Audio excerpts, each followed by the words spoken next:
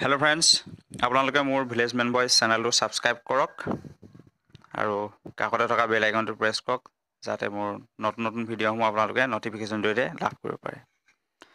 তেনে ব'লক পলম নকৰি ভিডিঅ'টো আৰম্ভ কৰোঁ।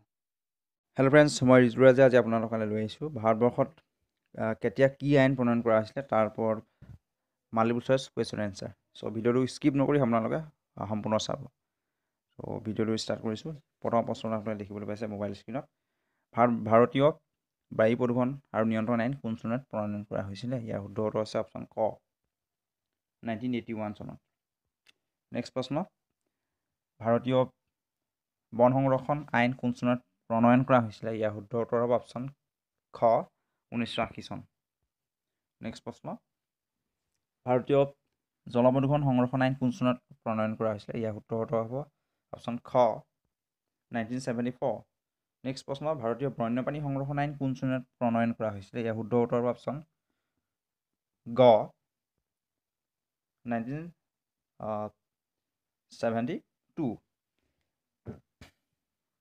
নেক্সট প্ৰশ্ন ভাৰতীয় পৰিৱেশ সংৰক্ষণ আইন কোন চনত প্ৰণয়ন কৰা হৈছিলে? ইয়াৰ শুদ্ধ উত্তৰ অপশ্যন ক। ঊনৈছশ আশী চন। চ' নেক্সট প্ৰশ্ন লৈছোঁ বন্ধুসকল। তলত দিয়াবোৰৰ ভিতৰত কোনবিধ? আৱৰ্জনা আটাইতকৈ অপকাৰী। এইটো হৈছে তেজস্ক্ৰিয় আৱৰ্জনা অপশ্যন খটো শুদ্ধ উত্তৰ। নেক্সট প্ৰশ্ন কি যন্ত্ৰৰ দ্বাৰা বায়ুত প্ৰলম্বিত ধূলিকণাৰ পৰিমাণ জুখিব পাৰি? ইয়াৰ শুদ্ধ উত্তৰ হৈছে কণিমিটাৰ।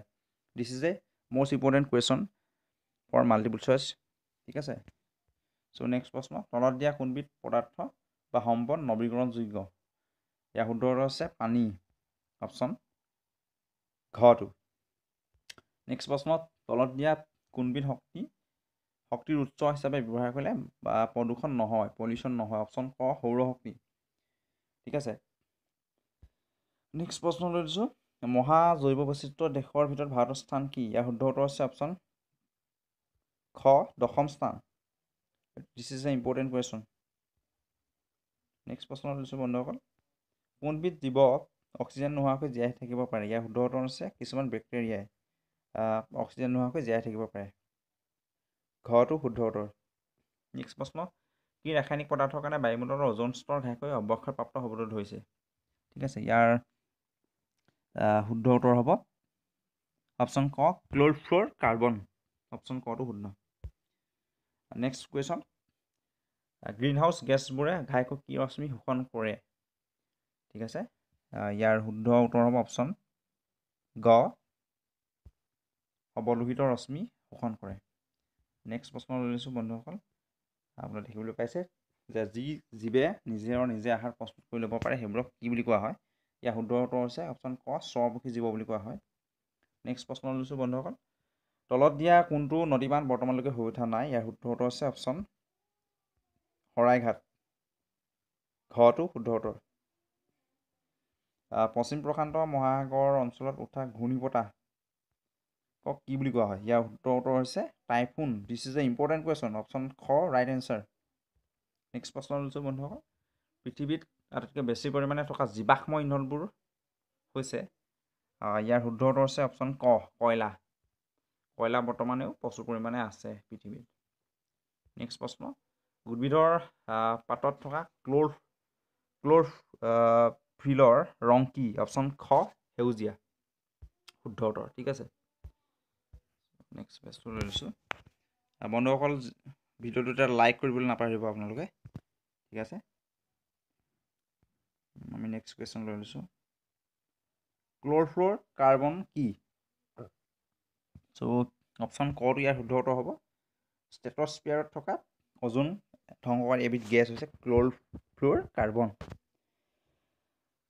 নেক্সট প্ৰশ্ন লৈছোঁ। ইউক্ৰেইনত স্থাপিত এহেজাৰ মেগাৱাট ক্ষমতাৰ চেনবিল্ড নিউক্লিয়াৰ ৰিয়েক্টৰৰ দুৰ্ঘটনা কেতিয়া হৈছিলে option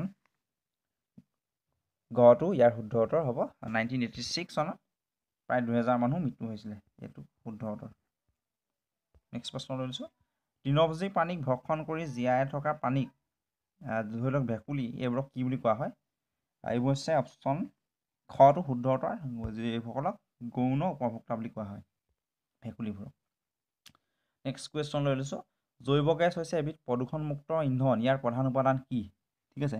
This is a important question ইয়াৰ শুদ্ধ উত্তৰ হৈছে ঘৰটো methane carbon mono dioxide hydrogen আৰু চাল হাইড্ৰজেন ছালফাইড নেক্সট প্ৰশ্ন লৈছোঁ বন্ধুসকল পানীৰ উপস্থিত অবায়ৱিক বেক্টেৰিয়াৰ সহায়ত পচন ঘটাই উৎপন্ন কৰা গোবৰ গেছ কি? ইয়াৰ শুদ্ধ উত্তৰ হৈছে এবিধ প্ৰদূষণযুক্ত জৈৱ গেছ যে বায়'গেছ। ঠিক আছে অপশ্যন কটো শুদ্ধ উত্তৰ। নেক্সট প্ৰশ্ন লৈছোঁ বন্ধুসকল অবায়ৱিক বেক্টেৰিয়াই কি কৰে? ঠিক আছে এইটো এটা ইম্পৰ্টেণ্ট কুৱেশ্যন বুলি ক'ব পাৰি। ইয়াৰ অক্সিজেনৰ অনুপস্থিতিত জৈৱ পদাৰ্থৰ যিটো অৰ্গেনিক মেটাৰ বিউজন ঘটায় ইয়াৰ শুদ্ধ উত্তৰ। ঠিক আছে এইটো শুদ্ধ উত্তৰ। নেক্সট প্ৰশ্ন লৈছোঁ বন্ধুসকল চুনামি কি? এইখিনিতে বন্ধুসকল আপোনালোকে চুনামিৰ স্পেলিংটো চাই লওক T S U N A M I tsunami ঠিক আছে ইয়াৰ শুদ্ধ উত্তৰ হৈছে সমুদ্ৰত ভূমিকম্প হোৱাৰ ফলত সৃষ্টি হোৱা এবিধ বিধ্বংসী সাগৰীয় ঢৌ।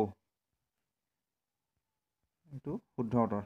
নেক্সট প্ৰশ্ন লৈছোঁ চিপকু আন্দোলন বা চিপকু মুভমেণ্ট কোন ৰাজ্যত হৈছিলে?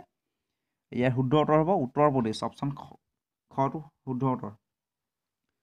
ঠিক আছে বন্ধুসকল ইউ পিত হৈছিলে। এইখিনিতে আমি এটা কথা জানি ল'ব বিচাৰোঁ। আপোনাক ক'ব বিচাৰোঁ যে পৰিৱেশ সুৰক্ষাৰ কাৰণে ভাৰতবৰ্ষত বিভিন্ন সময়ত আন্দোলন হৈছে তাৰ ভিতৰত বিষ্ণুসকলৰ আন্দোলন আছে পৰিৱেশ আন্দোলন চিপকু আন্দোলন আছে নিজম উপত্যকা আন্দোলন আছে নৰ্মদা বাচাও আন্দোলন আছে আৰু আমাৰ অসমতো বৃহৎ নদী বান্ধৰ বিৰুদ্ধে ধৰি লওক কৃষক মুক্তি সংগ্ৰাম সমিতি অসমে নদী বান্ধ বিৰোধী আন্দোলনো চলাই আছে ঠিক আছে? চ' নেক্সট প্ৰশ্ন লৈ লৈছোঁ। প্ৰদূষণৰ পৰা ৰক্ষা তাজমহল ৰক্ষা কৰাৰ বাবে সুদীৰ্ঘ দিন ধৰি ভাৰতৰ উচ্চতম ন্যায়ালয়ত আইন নিযুত চলোৱা ব্যক্তিগৰাকীৰ নাম কি? ইয়াৰ শুদ্ধ উত্তৰ হ'ব অপশ্যন ক। M C Mehta. ঠিক আছে এইটো এটা ইম্পৰ্টেণ্ট কুৱেশ্যন বুলি ক'ব পাৰে আপোনালোকে। নিজম উপত্যকা যিটো নিজম চাইলেণ্ট কি এইটো এটা পৰিৱেশ আন্দোলন নিজম উপত্যকা। ইয়াৰ শুদ্ধ উত্তৰ হৈছে অপশ্যন ক। কেৰেলাত অৱস্থিত বৰ্ষাৰণ্য যিটো ট্ৰপিকেল ৰেইন ফৰেষ্ট হৈছে ইয়াৰ শুদ্ধ উত্তৰ। ঠিক আছে। চ' বন্ধুসকল আমি ভিডিঅ'ৰ লাষ্ট প্ৰশ্নটো লৈ লৈছোঁ আজি ভিডিঅ'ৰ। ভাগীৰথী নদীত তেহৰী বান বন্ধাৰ বিৰুদ্ধে চলোৱা আন্দোলনৰ নেতৃত্ব কোনে দিছিলে? ইয়াৰ শুদ্ধ উত্তৰ হৈছে সুন্দৰলাল বহুগুণা। ঠিক আছে? Sunderlal is a right answer so' বন্ধুসকল আজিলৈ ভিডিঅ'টো ইমানেই আছিলে। পৰিৱেশ বিশেষকৈ ছ'চিয়েল ছায়েন্সৰ ওপৰত এই ভিডিঅ'টো আধাৰিত। ভিডিঅ'টো কেনেবা এটা জনাব লাইক কৰিব ভিডিঅ'টো এটা। কমেণ্ট কৰি জনাব শ্বেয়াৰ কৰিব আৰু যিসকল নতুনকৈ চাইছে তেওঁলোকে প্লিজ প্লিজ মোৰ চেনেলটো ছাবস্ক্ৰাইব কৰিবলৈ নাপাহৰিব লগতে বেল আইকনটো প্ৰেছ কৰি দিব। So' thank you thanks for ৱাচিং